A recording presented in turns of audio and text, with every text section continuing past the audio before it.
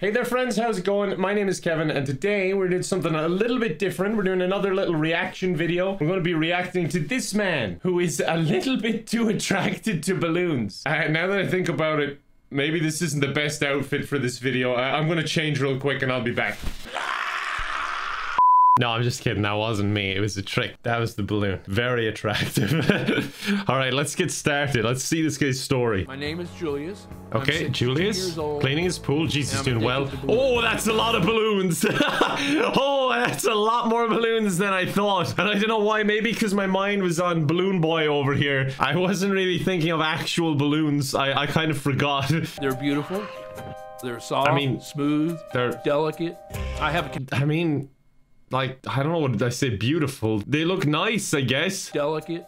I have a Oh my god, that's so cinematic. Hold on, let me just... that is so cinematic. Look at that. That's so romantic. I, I'm rooting for them, personally. I have a connection with them. Intellectually, I know that balloons Yeah, are not I, I know what he means. The, the, like, static you feel when you pick up balloons. You do feel a bit of a spark. But sometimes I wonder if it's my love for them that brings them to life. he's just... he's just sitting there smiling. You know, already, and this might sound weird, but I'm happy for them. And I mean that genuinely. He's not hurting anyone. Like, if, if he loves his balloons, he loves his balloons. Wow, balloons. That's kind of strange. You shouldn't talk about your aunt slash uncle like that. and I'm not talking about the dude, I'm talking about the balloon. Be nice to your balloon in law. I like the crystal clear, the, the transparent. You know, it's like a soap bubble. You know, you can see through it. I, I've got. Why did they have to do him dirty like that? Like the, this this is not creepy. Well like this scene isn't creepy, but then they put that horror music in there. Listen. You know, you can see through it. I, I've got the long ones, the round ones. It sounds so eerie. like a guy that prefers blondes or brunettes, you know?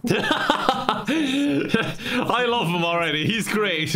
What's he? Wow, he's not hurting anyone. If anything, he's just helping the balloon industry, which must be struggling these days. Come on, we've gotten sick of them. They're boring.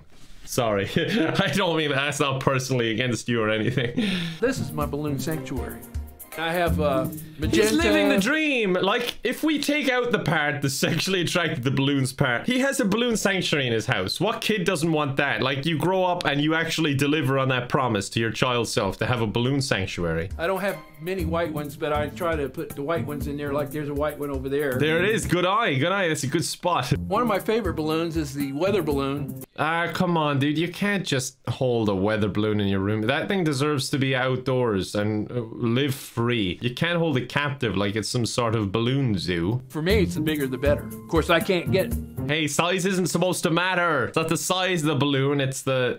I'm gonna stop right there, actually. Like, the title implies this is about to get a whole lot worse. an eight foot balloon in this room, so I, I settle for the five foot, uh, you know, weather balloon. I guess you can say it's more to love. The big balloon, it's more to love. But Julius's obsession with No, balloons oh goes God, beyond yeah. shapes and colors. Yeah, it's about to get worse. My love for balloons, it's also a sexual love. No! When Oh, I oh. see a, a beautiful balloon, keep doing heart dirty with the flutter, and I music. get aroused. no! This is so much weirder all of a sudden. I didn't think it would get this weird this fast. It's just he started talking about how he was sexually attracted to them, and then he starts pulling these faces, and the music starts, and they show a balloon being inflated, which on its own is fine, but in this context, seems really wrong all of a sudden. I'll take a 12 inch and I'll inflate it to 11 inch. What? That way it can take a lot of abuse. Oh, that's it. No more of this for you. It's your bedtime.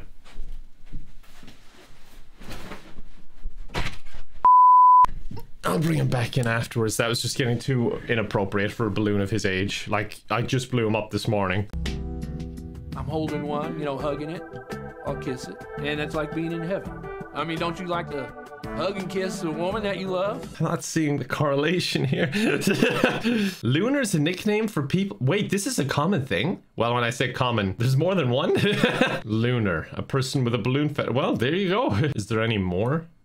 Wait, May 11th, word of the day, compost me. A euphemism for kill me. What? I've never heard that. All right, keep going down. Looner, sexual deviant with a penchant for balloons. All right, it's just good to know. I like to expand my vocabulary every day if I can. That's on the word of the day. I feel like a bit of a loony for watching this in the first place. There's lots of people out there that feel the same way as I oh, do. Oh no, is that feet? But there's two Oh, that's feet. Okay. All right, didn't need to see that. that get aroused by popping balloons. And Wait, if there's some that are aroused by popping balloons, and like this guy seems to be in love with balloons, like does that offend him? Like genuinely, I'm not being weird. I'm like actually wondering. Since then, the sound of a balloon popping devastates Julius. Wait, oh, he doesn't like the popping. Okay, he hates popping. Rescues balloons he believes to be in danger. Oh, he rescues the balloons. Oh my god. I can't tell if this guy's just the purest person to ever exist. Like he's going around saving balloons. I'll take a 12 inch and I'll inflate it to 11 inch. That way it can take a lot of abuse. Do what I call a balloon rescue. A when balloon they set them rescue. out early in the morning, they're really beautiful. And as the Wait, sun, but you can't uh, just take them, on right? They get really dull, uh, misshapen. I feel, you know, like I give him a second chance at life. Oh, he's saving the balloons. He's going in buying balloons. Imagine working there and then you've been selling this guy balloons for the past two years every day, and you're like, that's weird. He must have like some grandkids or something that really love balloons. And then you see this on the television, you're like, oh my god. oh my god. The only people that know is my family. My wife thinks it's strange. My wife? Wait, where is the wife? Has she refused to be in it? He has a wife. I was. But he was saying he sleeps in his balloon fort every night. Where does she sleep? Is she allowed in the balloon fort also? It looked like a one person balloon fort to me. It just had the bed and then surrounded by balloons. And I think if you're not into balloons, it would be pretty uncomfortable. They probably make noise. They, uh, every now and again, one will pop randomly. Like the balloon fort on the surface seems like fun, but I don't think it would be. Julia's wife refused to participate in filming. Why are you phrasing it this way? Like you're you're almost shaming her for not participating. Like I don't blame her. The fact that he feels like he has to keep it a secret uh, definitely points that there is a, a, a problem.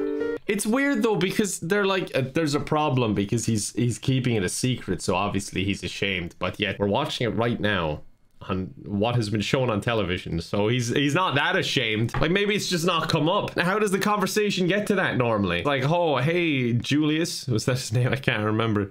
Meet any nice balloons recently? Like unless you have insider information, this just isn't gonna come up. A little talk about your balloons, uh-huh. about your balloon room. So, what kind of questions do you have? Well, why? Why do you have a balloon room? What what's going on here? I heard that there was a some physical attachment to these balloons. Oh, this must be so uncomfortable. Like this is his nephew.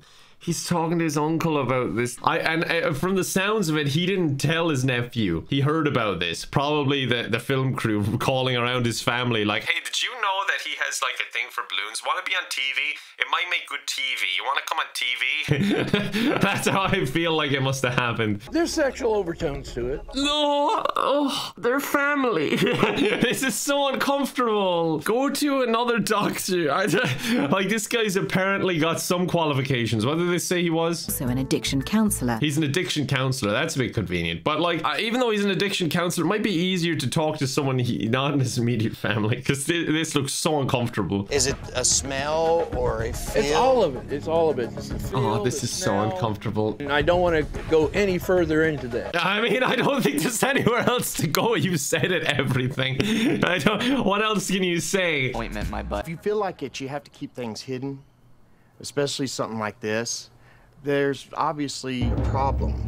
Yeah, but he's on television doing it, so he's not keeping it hidden, is he? His wife is keeping it hidden. Why not go to her and say, You obviously have a problem. You're not coming on television and uh, confronting this issue. You obviously have a problem. What is wrong with you? You know, I started when I was about eight. Okay, all right. So you're 62 now, so that's what? 40, 54 40 years? Oh, okay. Was I wrong? Wait, 8 and he's 62. 50. Yeah, I'm right. Wait. 40. What?